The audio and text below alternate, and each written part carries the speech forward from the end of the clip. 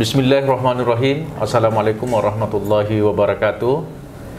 Salam sejahtera untuk kita semua. Om Swastiastu, Namo Buddhaya, salam kebajikan. Alhamdulillah wa syukurillah wassalatu wassalamu ala Rasulillah Sayyidina Muhammadin wa ala alihi wa sahbihi wa barik wa sallim amma ba'du.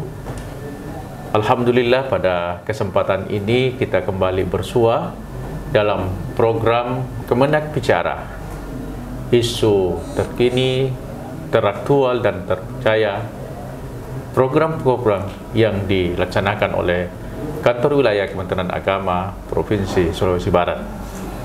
Pada kesempatan ini bersama dengan kita di studio bersinergi Bapak Kepala Kantor Wilayah Kementerian Agama Provinsi Sulawesi Barat di tengah kesibukan beliau oleh tim humas meminta untuk dapat hadir pada kesempatan ini untuk mengurai begitu banyaknya antusias masyarakat kita untuk bergabung di Kementerian Agama khususnya pada kantor wilayah Kementerian Agama Provinsi Sulawesi Barat. Apa kabar Pak Kakanwil? Ya, Alhamdulillah sehat walafiat. Alhamdulillah.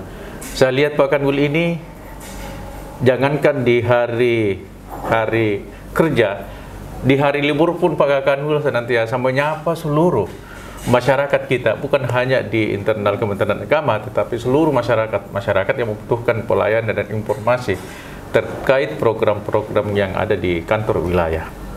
Nah, pada tanggal 21 September kemarin, oleh pihak UPT BKN sebagai pelaksana dan Kanwil menjadi pelaksana juga, itu telah melakukan ujian CPNS dan saya lihat Pak Kanwil juga sempat hadir dan memberikan motivasi.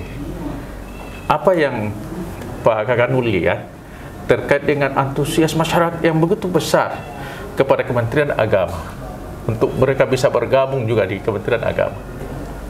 Silakan. Ya, terima kasih Pak Kasubag. Uh, kita melihat Alhamdulillah dengan dibukanya tes calon ASN formasi Kanwil Kementerian Agama begitu juga formasi untuk Stain Majene di mana calon-calon ASN ini mengikuti tes CAT di UPT BKN dan itu akan berjalan selama empat hari. Alhamdulillah mereka mengikuti dan tentu mereka sudah mempersiapkan dari awal. Nah kami selaku pelaksana tentu juga harus mempersiapkan segala sesuatunya prasarana, sarana dan yang akan digunakan dan tentu karena kan pandemi Covid ini masih berjalan, iya. uh, tentu prokes kesehatan yang ketat juga harus berjalan. Iya. Dan semuanya Alhamdulillah setiap hari mulai hari Selasa kemarin itu ada empat sesi setiap hari iya. Bergantian masuk untuk mengikuti proses rekrutmen calon ASN baik di lingkungan Kanwil Kementerian Agama maupun, maupun di Stein Majene. Dan untuk tahun ini kita mendapatkan formasi 10 untuk Kanwil Kementerian Agama dan 5 untuk Stein Majene. Itu ya untuk sementara. Ini luar biasa sekali Pak Kakanwil. Melihat antusias dan begitu banyaknya yang mendaftar sedangkan formasi kita hanya ya mungkin kalau kita membagi itu satu mungkin bagi 10, 20 atau 30 orang untuk bisa bersaing dan menjadi yang terbaik dari sekian terbaik itu. Nah, Pak Kanwil uh, melihat uh, hal itu, upaya yang dilakukan oleh Kanwil Kementerian Agama Provinsi Barat untuk meningkatkan sumber daya manusia. Nah, apa harapan Pak Kanwil terkait dengan moderasi beragama, terkait dengan kerukunan dan lain sebagainya? Apa Pak Kanwil yang Bapak harapkan dari mereka ini CPNS yang pada akhirnya akan menjadi sebagai yang ditakdirkan untuk bergabung di keluarga Kementerian Agama Provinsi Sulawesi Barat. Ya, harapan kami semoga mekanisme proses rekrutmen ASN ini bisa berjalan lancar Dan saya yakin dengan giat yang diikuti itu akan menelurkan calon-calon ASN yang handal, memiliki kapabilitas dan memiliki karakter yang bagus. Itu yang kita inginkan. Karena kenapa dengan tes CAT ini langsung di mana calon ASN ini langsung melihat nilainya. Dia tahu dirinya bahwa nilainya sekian, dan tentu sesuai dengan regulasi aturan yang lolos itu hanya per sesi itu hanya ranking 1, 2, 3 per sesi. Jadi betul-betul uh, diseleksi betul dengan ketat.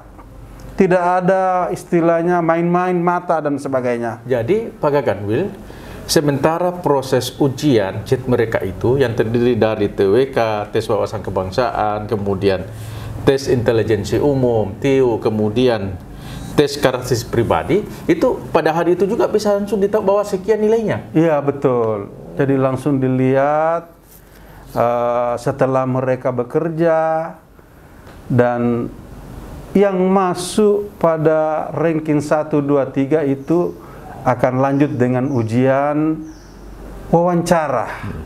Ada proses mekanisme yang kompetensi bidang, akan diikuti kompetensi bidang. Iya. Dan saya menghimbau kepada uh, calon-calon uh, ASN jadi tidak ada boleh main mata, mau bermain-main dengan janji-janji ini dan itu, itu tidak ada. Tidak ada. Betul-betul murni hasil pekerjaan karena itu juga secara langsung dilihat dan transparan terbuka. Iya baik di internal BKN sendiri kita langsung lihat nilainya dan masyarakat umum juga bisa melihat nilai lewat layar televisi yang ada di luar. Oh iya, Pak Jadi itu secara transparan betul. Ini Pak Kanwil ini, mau minta resepnya nih Pak Kanwil ini. Resep dari Pak Kanwil sampai bisa seperti ini kemudian mungkin ada doa-doa mungkin atau apakah karena berkah dari orang tua atau apa sehingga itu juga bisa menjadi bagian untuk bisa mereka suksesan. Apa pesan-pesan Pak Kanwil terhadap masyarakat bahwa untuk meraih kesuksesan itu harus seperti ini, harus taat kepada Allah atau doa atau ikhtiar atau apa menurut Pak Kanwil yang Pak Kanwil pakai resep selama ini? Iya. Tentu sebagai calon ASN di mana jauh-jauh hari sudah harus mempersiapkan diri. Lewat bagaimana mengisi dirinya lewat belajar dengan pengalaman-pengalaman kemarin ya. Di samping itu dia harus uh, sebagai pemeluk agama tentu dia harus minta restu kepada kedua orang tuanya.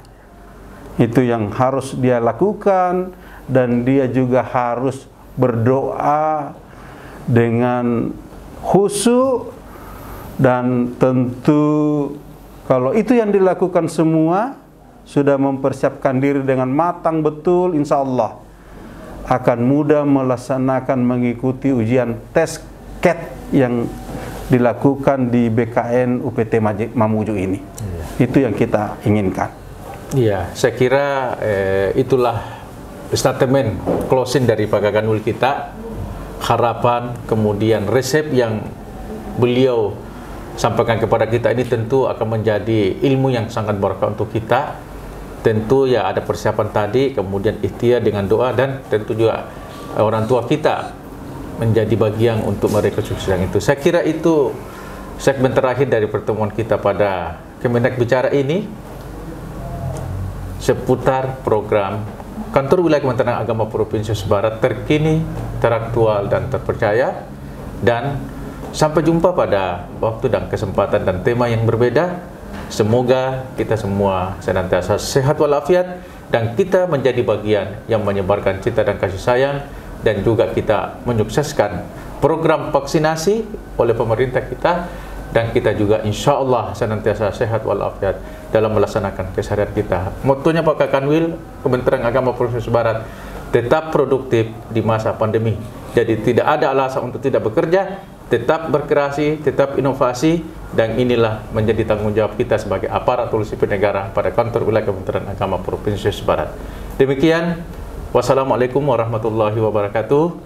Salam sejahtera untuk kita semua. Om Swastiastu, Namo Buddhaya, Salam Kebajikan.